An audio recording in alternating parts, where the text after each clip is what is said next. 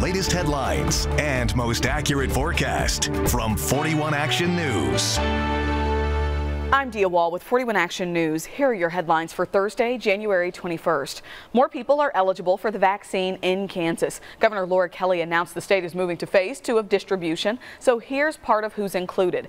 Anyone over the age of 65, first responders such as police and fire, teachers in K through 12th grade, grocery store workers, and those in the food service industry.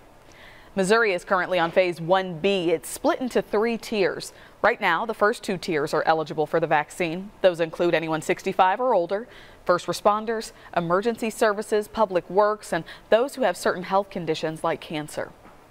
The future of a local school district is now in the hands of the voters. If people support a $264 million bond, the Shawnee Mission School District plans to rebuild five elementary schools, implement security and restroom upgrades, improve learning spaces, and renovate the Early Childhood Center and the Career and Tech Center.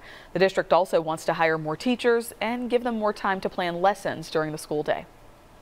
We really believe that our teachers deserve more time uh, for planning, for collaboration, for grading, that it just overall benefits all of our students to have to give teachers more time. Mail-in ballots are due by January 26th. The deadline to register to vote was December 28th.